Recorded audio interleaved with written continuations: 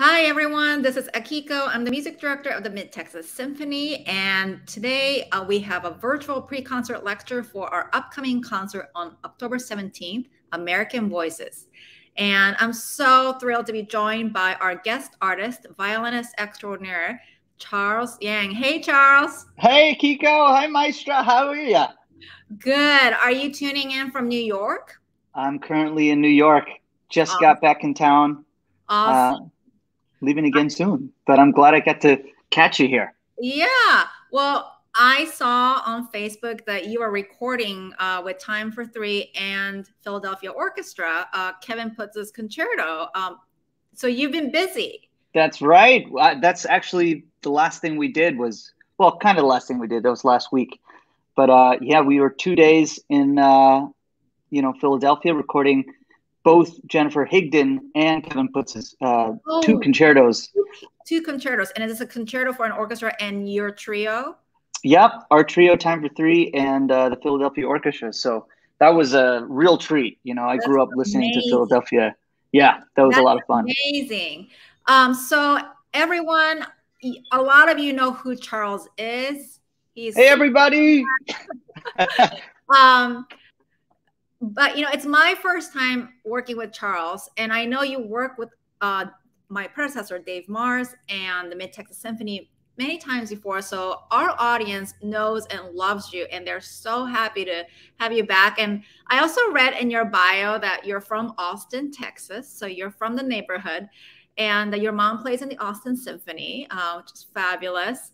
And that June 9th is a Charles Yang Day in Austin. Is that true? Wow, you did a deep dive. I did. So what, what so on June 9th, should we give a toast to you or like if we're not with you in person like what is the charles yang day about well june 9th charles yang day now is exclusively celebrated by my mom and my mom only i don't even remember mom uh, for that yes yeah my mom she celebrates it and and she'll call me and say do you know what today is and i'm like it's my birthday already no, it's in June, you know, uh, it's not even in June. So she celebrates it on her own. But that was actually, that was uh, when I was in high school.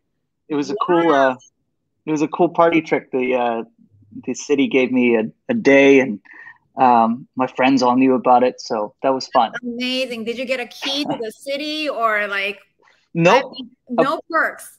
Apparently, if I got a parking ticket on that day, it would have been forgiven. But I uh, didn't even drive. Give free parking downtown or something. Which yeah, is hard in Austin. So I'm working my way up to that. Awesome. Well, um, as Charles mentioned, Charles is a member of this crossover string trio, Time for Three, uh, which is world famous and everyone loves them. Um, and I wanted to um, and of course, Charles is a standalone soloist as well. Um, I wanted to just kind of harken back to your past with Dave Mairs, our music director emeritus, and the Mid Texas Symphony. How did it? How did you meet Dave, and how did it all start? Oh man, Dave is first of all one of the most beautiful souls I know. He He's is. like a family member. I mean, talk about Mid Texas Symphony though. Um, you know, I, I've known the Mid Texas Symphony. I've been a part of this community since I was a kid. So, you know, um, every time y'all ask me to come play, I'm like, oh man, it's great to see family again. I can't wait to work with you. You know, uh, this will be new, but uh, the community, uh, Dave especially, you know, has been really like a family member to me um, yes. growing up. Uh, so that actually started because I had won the concerto competition for the Austin Symphony when I was a kid. I think I, was like 10, 10, or 9 or 10, something like that. And actually, Dave, uh, we played the Saint-Saëns concerto. And that was the okay. first uh, violin concerto I played with a professional orchestra. So That's that was really fun. Super fun for me. And we just kept this uh, relationship. He was fun. We played a bunch of high schools in Austin. Mm-hmm. mm-hmm. And uh, he was so relatable um, to all the kids there, to me, and um, and I was just so eager to work with him again. So it's just been a really great career uh, that him and I have had together. That's I'm amazing. very grateful. And I know he loves you so much. Uh, and I love him. he wants to continue working with you. Um, speaking of careers, so you are Juilliard trained, classically trained violinist, but you also are part of this crossover band, and you're also a vocalist and a composer, and you are genre bending guy. Um, how did somebody who grew up with kind of a straightforward, very you know I don't want to say strict, but mainstream classical music education. When did this crossover genre bending begin? Well, like you said, my mom is a violin player. She's in the Austin Symphony and actually left the Cultural Revolution in China. Um, uh, you know, she was a part of that during that time. Went to Shanghai wow. Conservatory and and came wow. here to study in Austin, Texas. Um, and my dad as well. Uh, he's not a musician, but um, was very interested in music. But the idea of um, traditional music was just classical music for them. You know, um, that was what they kind of fought for, but also what they played and listened to. Mm. So that's what I grew up with in my household. I'm my only child. So at home, the records were all, you know, Heifetz, Oistrakh, um, Perlman, and, and the most extreme record we had was the Three Tenors, and I loved that record. I loved it. I was like, this is this is awesome. This is so different from violin music. But um, yeah, I went to public school in Austin, and you know, none of my friends knew what I was listening to.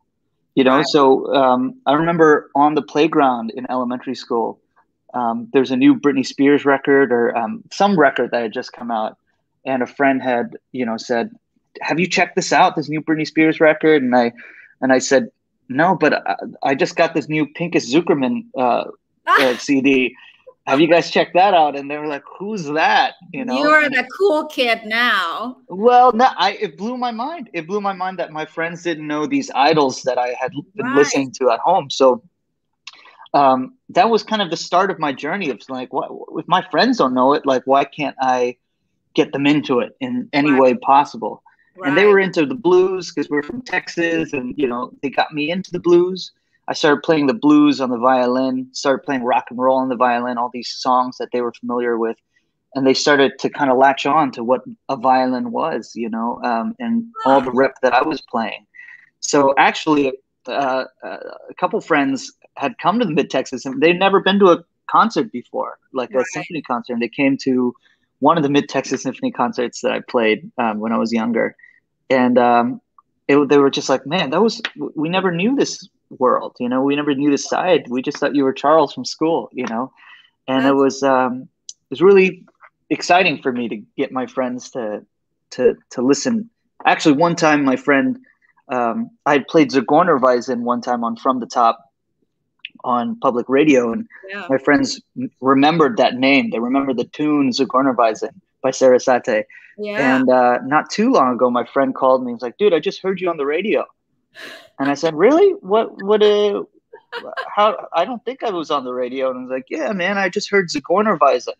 They thought you were like, the only one that played. Yeah. That. Yeah. And I said, you, you know, right. Exactly. Exactly. But it's just incredible that my friends remembered, uh, first of all, the name Zigeunerweisen. Yeah. And, um, and a, and a, and a piece for violin literature that, um, that was written hundreds of years ago. So, it's a. Uh, it sounds like you. I mean, you're an extraordinarily talented child prodigy growing up, but then you were surrounded by normal kids and not necessarily music kids, and you grew up in a relatively normal environment, which was, I think, important, like in your development, because I mean, this is what allows you to be relatable to other, you know, non-music people and to help them enjoy the music and then bring so many different kinds of music to them. Yeah, I, I think it was never. It always came naturally to me. It, it wasn't a um, a forced thing. You know, I, I was always curious to learn. First of all, the blues, learn all these classic rock songs that my friends were listening to. Not because I wanted to be a part of it, but I was literally, I was legitimately curious about it. Right. So I, I, I listened to it. I liked it. I started getting really into it, and that led to um, this kind of natural, um, organic bond that my friends had with with music. Um, so, and that still continues with Time for Three. You know, our our kind of idea is just music is the universal language, and how right. can we bring all the people in to speak to each other? So that's, that's uh, amazing. That's, that's so uh, needed right now, to, uh, bringing people together. Um, and music, yeah, absolutely. Kinds of music is the best way. Um, before we get into the Korngold, you know, I just want to ask um, for myself personally. I'm a terrible improviser. I'm married to the print. And I think a lot of classical musicians are that way, but you're one of the rare birds um, that is able to improv and across many different genres.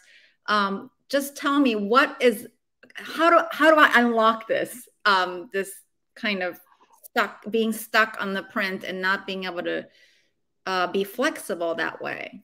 Well, let me tell you, on on most occasions, I'm a terrible improviser too. You know, no. it's those yeah, it's those special times when I play a solo and I shock myself. That's when I uh, that that's what keeps me going. You know, but but a lot of the times it's scary. It's scary to go up there and and make up stuff um, right. to really make up something, um, especially if you're playing with other other players. But um, it's just something, just like as we would go and perform uh, a concerto or a symphony, you know, um, that kind of rush is there. You just have to take that step to do it. You know, um, the stage is not meant for everybody, right. Um, but for the people that do do it, they took that step. So for me, it was taking that step to kind of be vulnerable. You know, I didn't start, ah. I didn't start improvising until you know um, late middle school, high school when my friends literally that um, learn guitar like a month before, the first things they learn is the blues pentatonic progression. Yeah. So they taught me that. Um, I started playing on my violin. They taught me all these other scales that I had been playing every day since I was age three. I've been playing G major scale, C major scale, but I always thought it was just for my technique and like um, just for intonation, for bow, and but right. there's a function there right there, there was a. I, it, I remember it clicked and i was like oh these scales all have a function and you know this goes here this goes in this chord and uh, it was just so fun to put the puzzles together so i'm still learning every day you know um, how well, to far ahead of me in that department and, and in other departments too but especially in this no, no, no. vulnerability part um it, it sounds to me like it, like that um, informs they like the two sides, two worlds inform each other in your career. Is that right? I mean, Absolutely. Yeah. I mean, it's it's a scary thing to do anything. Um, you know, to show anything, to perform anything. So, um, but but the idea, the discipline is always the same, right? Um. To to to just kind of let go, but also rein in what you need to hone in on what you need to improve on. So it's very similar. I think that mindset was um, a lot of people find foreign in the classical music world, but just going over to that side and really learning um, at least the basics of things is is a lot of fun, and it's um, it's not as daunting as you think. You know. That's true. And I mean, nobody else has painted it that way, that there are actually more similarities between the two. or They're both the same thing. They both require some sort of you know basic understanding and rules and discipline like you said and knowledge right. and mastery of the language and then only when you have mastered that language you can take off and be free and it's right. whether you're right you're playing printed notes or not or you're playing based on harmonies or something like that. Well that is very cool um, and refreshing outlook so thank you for that. Um, now let's dive into the Korngold uh, you'll be playing the Korngold violin concerto for us. Uh, not only are you a crossover violinist, but this is also very much a crossover piece, I think, uh, because absolutely. out as a opera classical composer in Austria.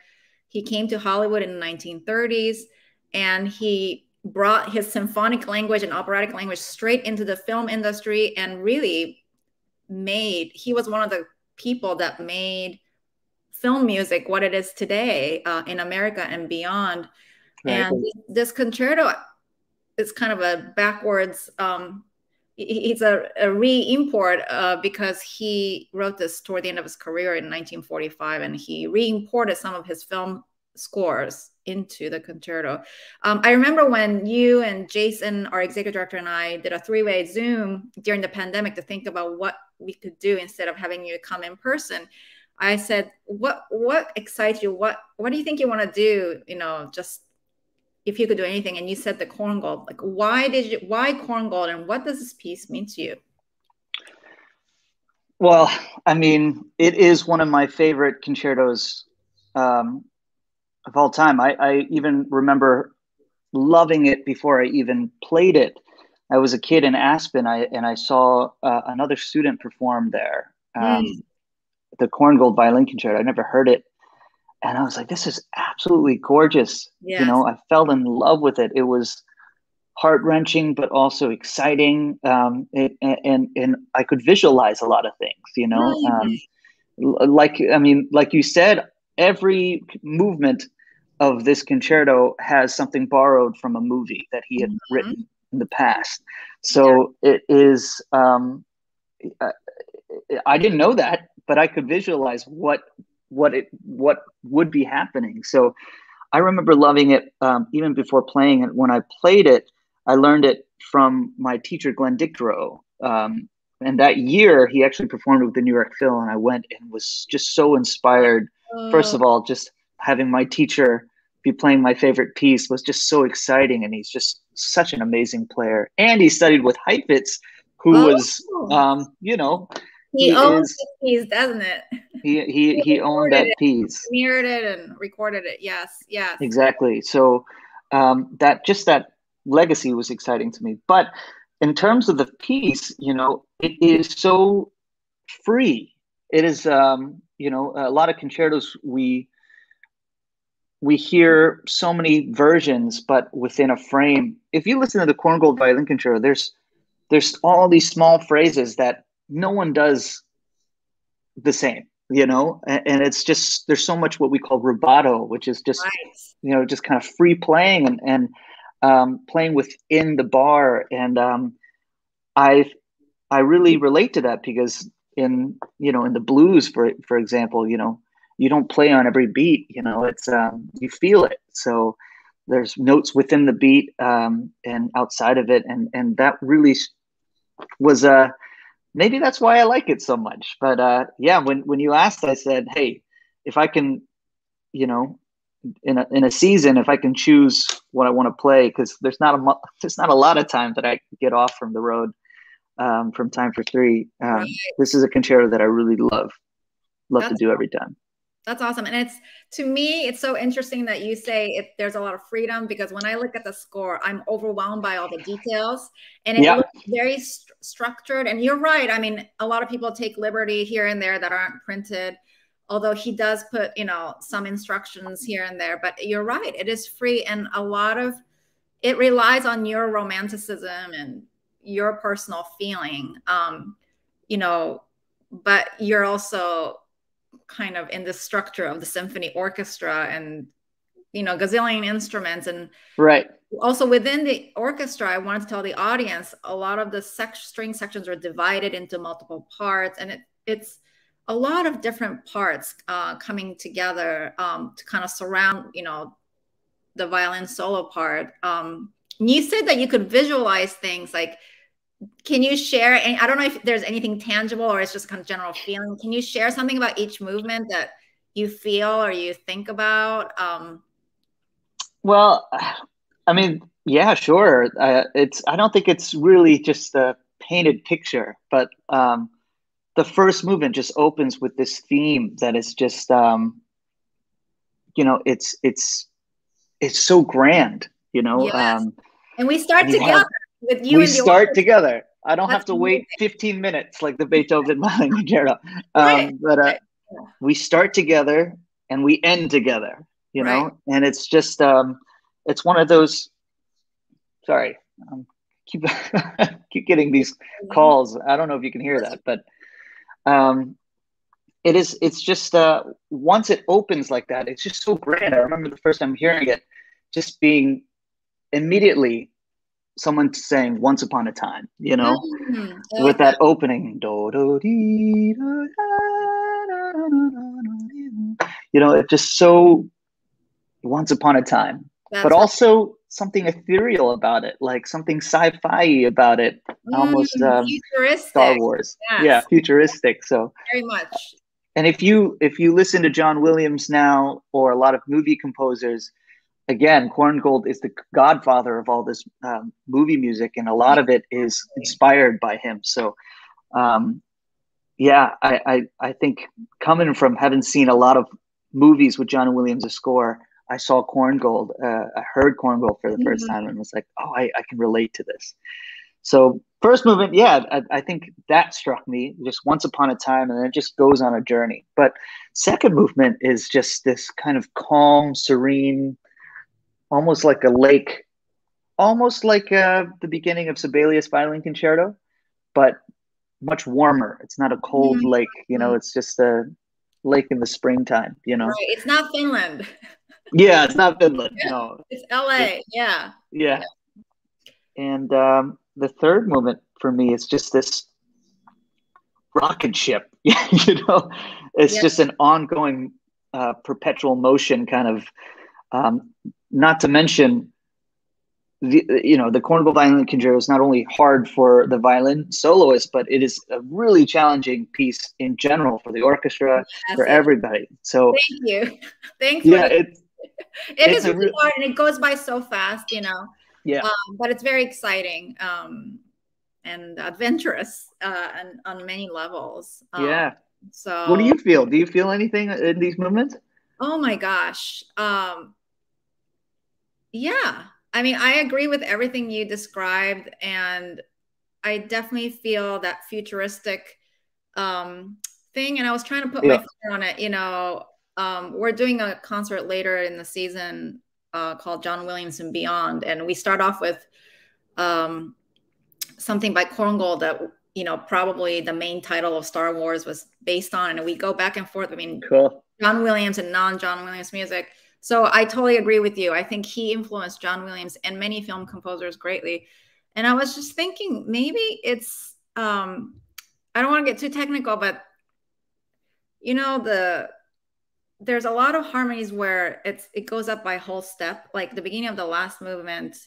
Um yes. It's, it's in D major, then the next harmony is E major. And usually in you know tonal music it would be E minor, but then he makes sure that the, the second is also a major.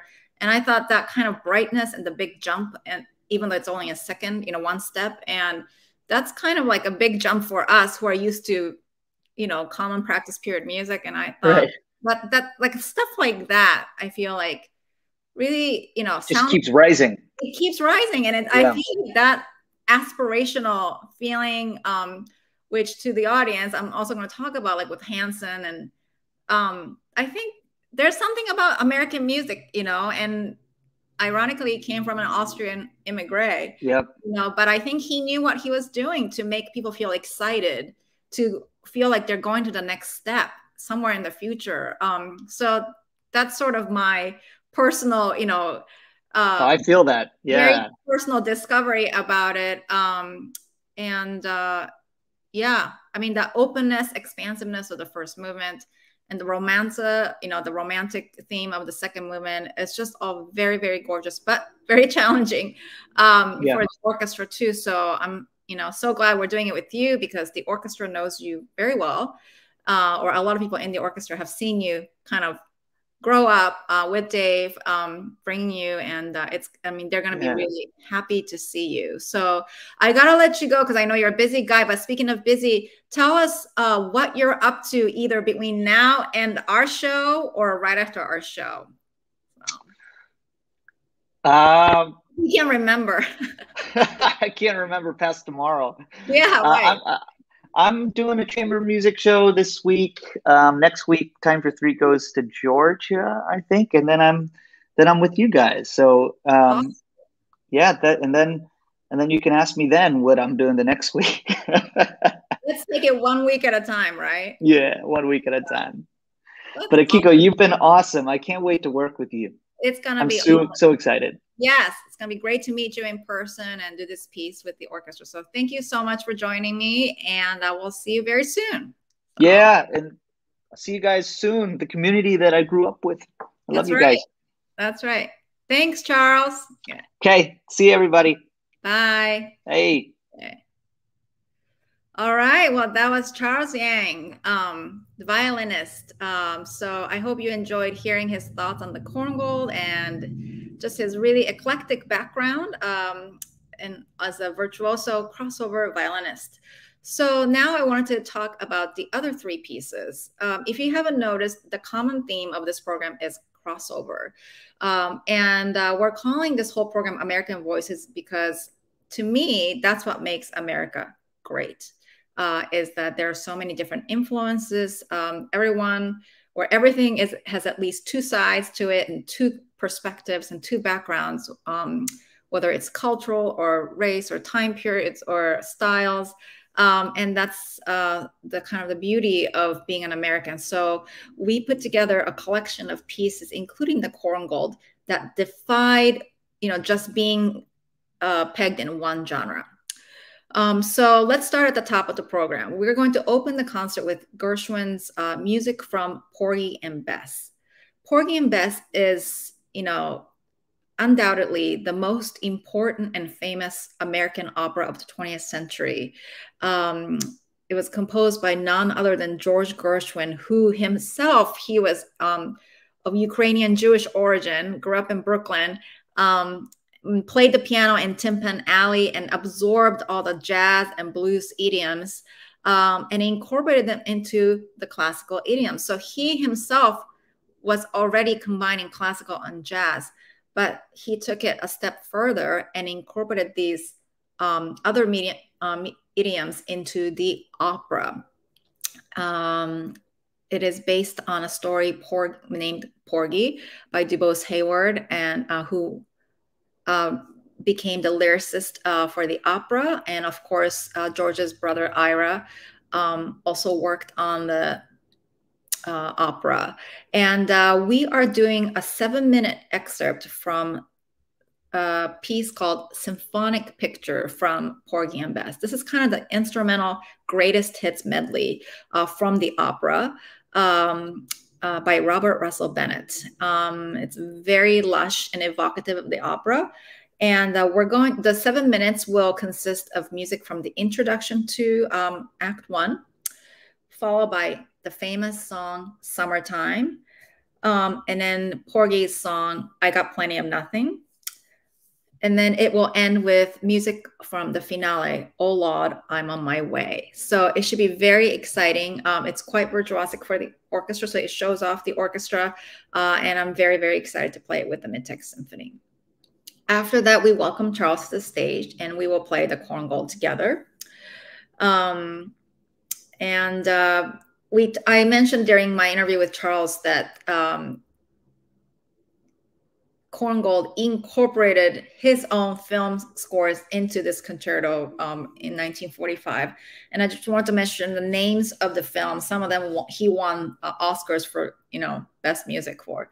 So the uh, in the Korngold, the first movement, uh, he used themes from his film um, scores to Another Dawn, which is 1937 film, and then the second theme is from Juarez uh, of 1939.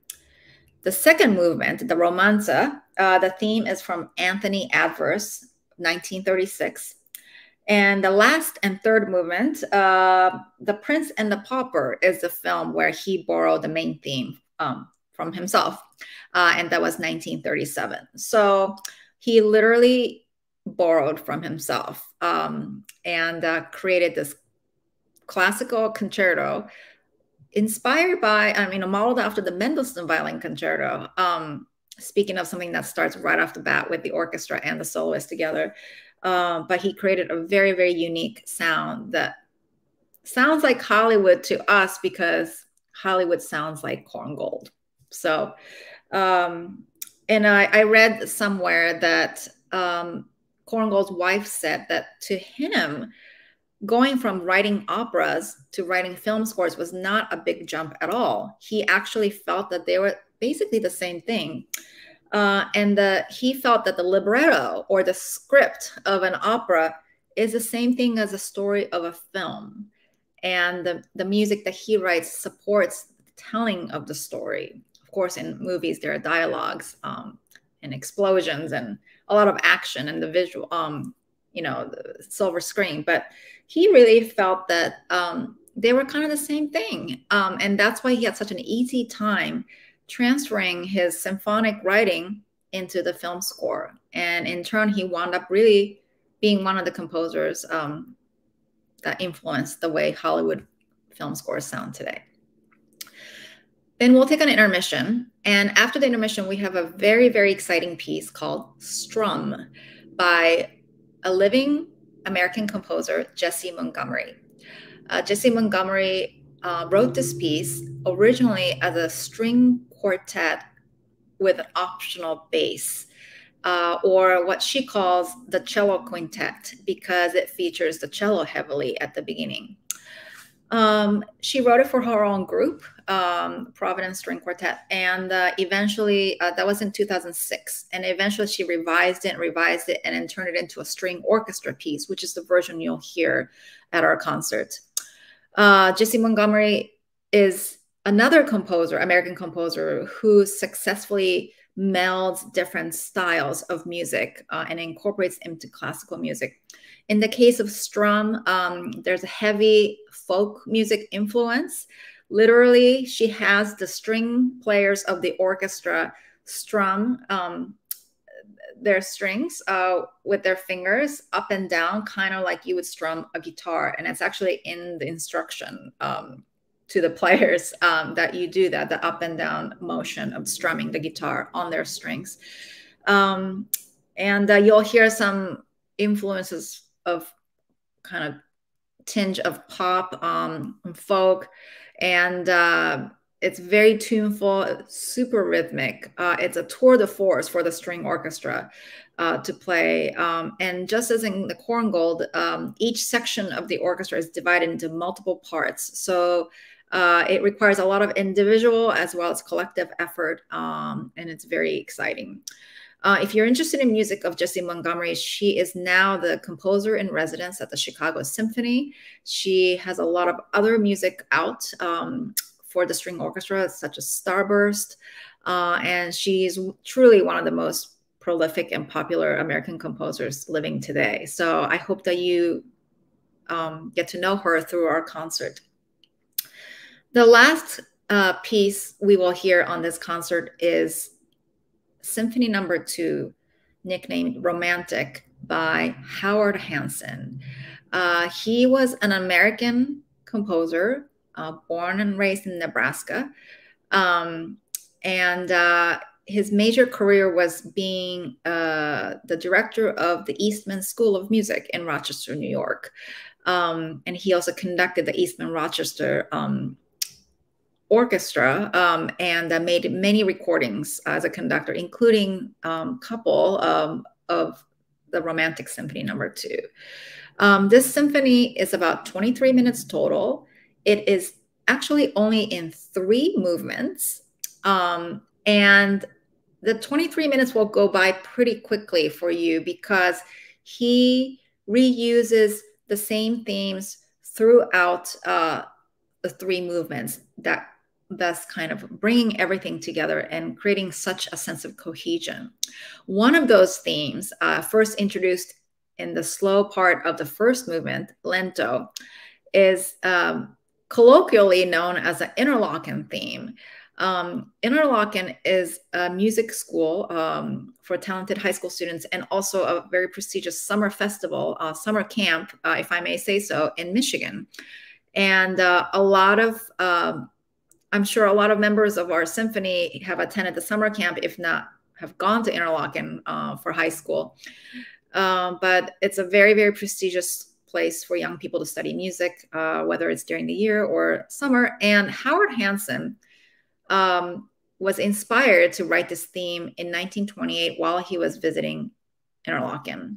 And in 1930, the Boston Symphony um, and their conductor Sergio Koussevitzky commissioned him to compose a symphony for their anniversary year. And he wrote this piece for the Boston Symphony.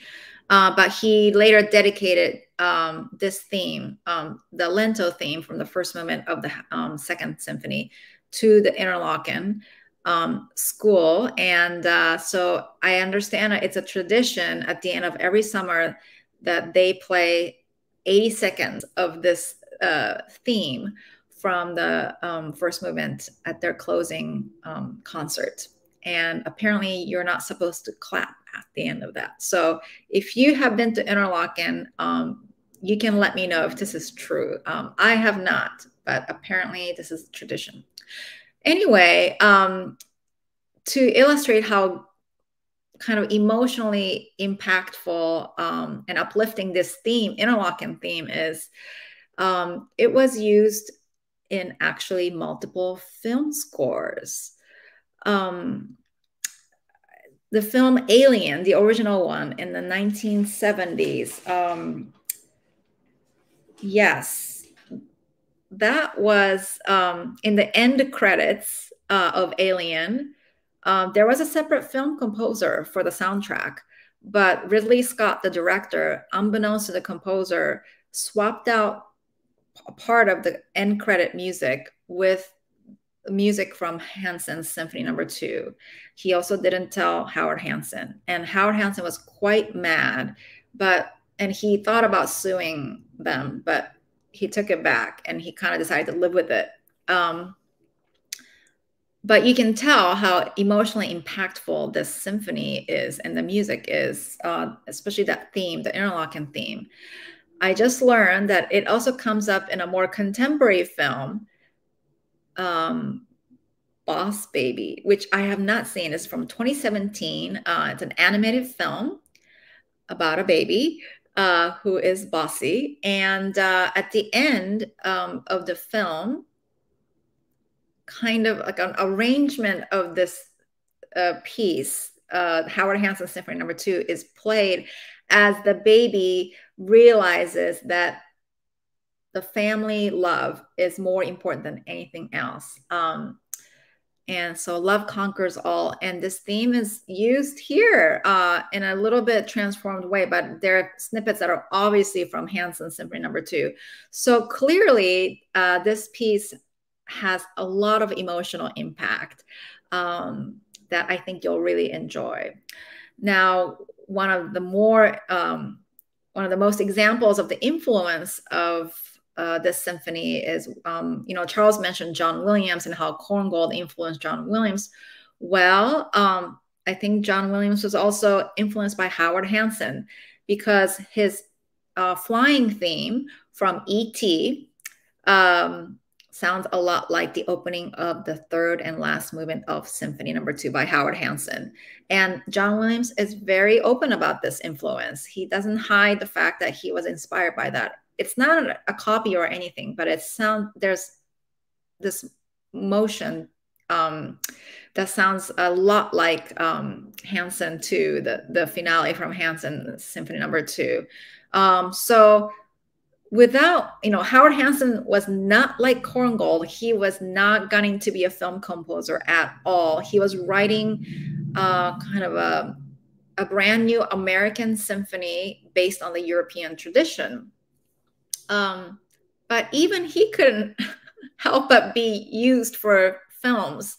Now what does that tell us? Um, you know i talked about it a little bit with charles earlier but i think that the aspirational aspect of American music, maybe the harmonies, the rhythm, um, I think that's very American. I think all of us in this country are aspirational. We are looking for the next thing, the next bright, brightest thing, and uh, always looking to the future um, more so than our European counterparts. Um, when it comes to you know history and classical music. And I think that sense of adventurousness, adventurousness and aspiration end up coming out, oozing out of original American music. And I feel that about all four pieces that we'll be performing on this American Voices program. Um, and that's kind of that's one of the reasons I put them together um, in one program because I think it's a very unique quality about our country, our people, um, and uh, it's very exciting and uh, uplifting. So I wanted to end today's um, pre-concert lecture with a quote from George Gershwin that I thought was so apt um, and that kind of summarizes how I feel about American music and the multicultural nature of it. George Gershwin said, True music must reflect the thought and aspirations of the people and time. My people are Americans. My time is today. End quote. So I will leave you with that. Um, although these pieces were written, you know, except for the Montgomery, you know, in the middle of the 20th century or earlier part of the 20th century, they still feel very fresh um, and new because of this aspirational nature. And I think that's what being an American means. Um, and if it, this whole thing feels very relevant today. So I can't wait to have you all join us at Canyon High School on Sunday, October uh, 17th at 4 p.m. Uh, with Charles Yang and the Mid Texas Symphony. So I look forward to seeing you and thank you so much for joining me today. Bye.